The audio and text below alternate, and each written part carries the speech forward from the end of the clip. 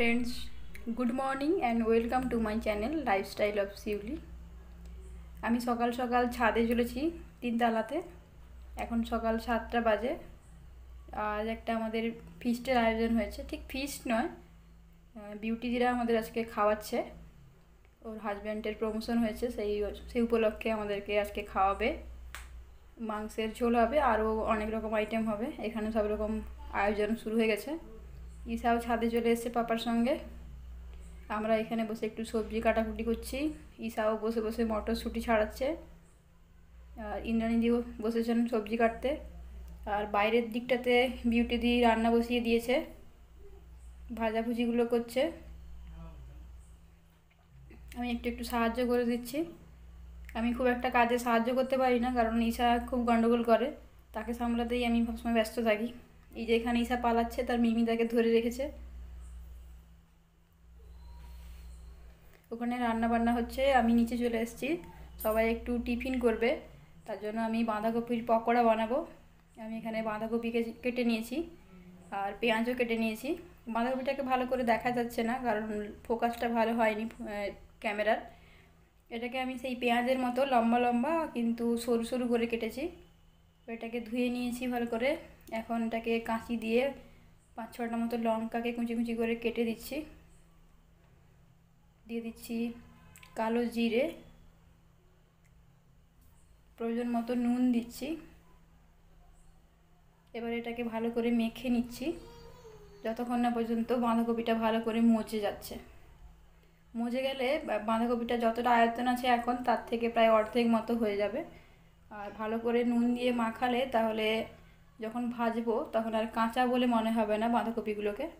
এটা আমি দু একবার করে সবাইকে খাবিয়েছি ওরা খেয়ে খুবই খুশি হয়েছে মানে খুব পছন্দ করেছে খাওয়াটা, এই পকোড়াগুলো। তাই আজকে বলল করতে। আমি এখানে করতে এসেছি আর ইনান্দিত খুব তাড়া দিচ্ছে, তাড়াতাড়ি করে করো, তার ছেলে খেয়ে পড়তে যাবে। আমি মাখিয়ে নিয়েছি ভালো করে নুন দিয়ে বাঁধাকপিটাকে, এবারে বেসন দিয়েও মাখিয়ে নিয়েছি। এখন দিয়ে দিচ্ছি খাওয়ার সোডা। খুব অল্প পরিমাণে দিচ্ছি। খাওয়া সোডা দিলে একটু ফোলে ভালো হবে আর একটু মুচমুচে হয় টেস্টটা খাওয়া সোডাটা একদম লাস্টে দিই আমি। এখানে আমি হলুদ দিইনি। আপনারা চাইলে কিন্তু হলুদও ব্যবহার করতে পারেন। হলুদ ছাড়া করলেও খুব একটা খারাপ হয় না। এখানে আমি কড়া গরম করে নিয়েছি, এটাকে ডিপ ফ্রাই করতে হবে। তেলটাও গরম হয়ে গেছে। যেভাবে আমরা পকোড়া বানাই, ঠিক সেভাবেই অল্প অল্প করে দিয়ে ছেড়ে দিচ্ছি।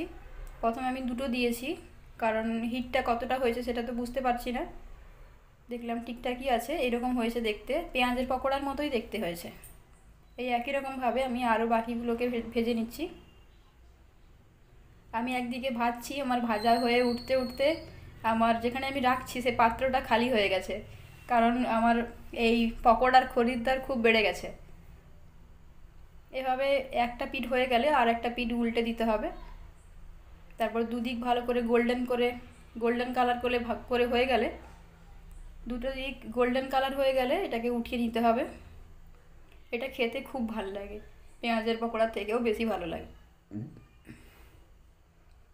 এটা আমরা প্রায়ই খাই, যে সময়টা বেশি পাওয়া যায় বাঁধাকপিটা, সেই সময়টা আমরা খুবই খাই। বিশেষ করে এই সময় দামটাও কম থাকে।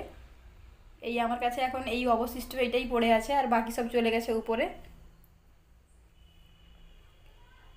আমি উপর থেকে একটু মাংস নিয়ে এসেছিলাম ইসার জন্য চিকেন রাইস বানাবো বলে। কারণ আমাদের যে ঝোলটা হবে ওটা তো ইসা খেতে পারবে না। তাই ওর আন্টি মানে বিউটি আন্টি বলেছিল যে একটু মাংস নিয়ে যেতে, তার জন্য একটু রান্না করার জন্য। আমি তাই চামড়ার দিকে যে মাংসটা হয়, যে নরম টাইপের যে মাংসটা হয় সেটাকে নিয়ে এসে কুচি কুচি করে কেটে নিয়েছি। এবার কুকারটা গরম করে সরষের তেল দিয়ে তার উপরে মাংসটা দিয়ে দিয়েছি। একটু নাড়াচাড়া করে নিচ্ছি। নাড়াচাড়া করার পরে এর মধ্যে সমস্ত সবজি মানে গাজর, রাঙা আলু আর একটু কুমড়ো দিয়ে নাড়িয়ে নিচ্ছি। আজকে এই সবজিগুলো দিচ্ছি, অন্য সময় যা যা থাকে সেগুলো দিই। এবার একটু নুন আর হলুদ দিয়ে হালকা ভাজা ভাজা করে নিচ্ছি। কুকারটা ঢাকনা দিয়ে দিয়ে একটু রান্না করছি, তাহলে ভালো সেদ্ধ হবে। এবারে এটা একটু সেদ্ধ হয়ে আসলে এর মধ্যে আমি কেটে রাখা টমেটোগুলো দিয়ে দেব। টমেটোটা আগে দিলে সবজিগুলো সেদ্ধ হতে যায় না, তাই আমি পরের দিকে দিচ্ছি। আবার একটু ঢাকা দিয়ে রান্না করে নিয়েছি। এবারে আমি এর মধ্যে দিয়ে দিচ্ছি ধুয়ে রাখা চাল আর মসুর ডাল। এবারে এগুলো দেওয়ার পরে একটু সামান্য নাড়াচাড়া করব। তারপর এর মধ্যে দিয়ে দেবো সমস্ত যে মশলার গুঁড়োটা আমি ইসার খিচুড়িতে ব্যবহার করি, ওটাই দিয়ে দেবো। দিয়ে একটু নাড়াচাড়া করে জল দিয়ে এটাকে দশ থেকে দশ থেকে বারোটা মতো সিটি দেবো। কারণ মাংসটা তা না হলে ভালোভাবে সেদ্ধ হবে না। সেদ্ধ না হলে বাচ্চা খেতে পারবে না। তাই দশটা মতো সিটি দিয়ে নেব।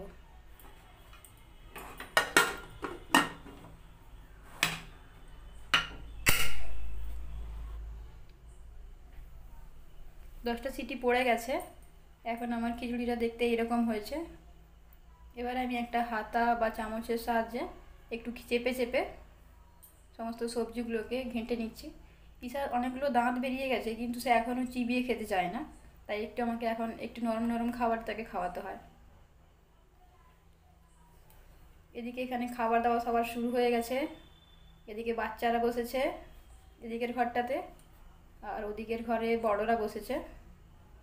অনেকগুলো মেনু হয়েছে, মাংসের ঝোল, চচ্চড়ি, টক চাটনি, আলু ভাজা তো আছেই। আলু ভাজা, এরকম আরও কিছু আরও অনেক কিছু আছে।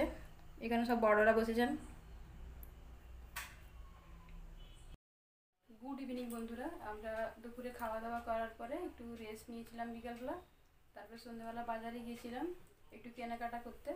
কয়েকটা জিনিস কিনে এনেছি, সেগুলো আপনাদের একটু দেখাচ্ছি। আমার একটা কুর্তি কিনেছি। এইটা।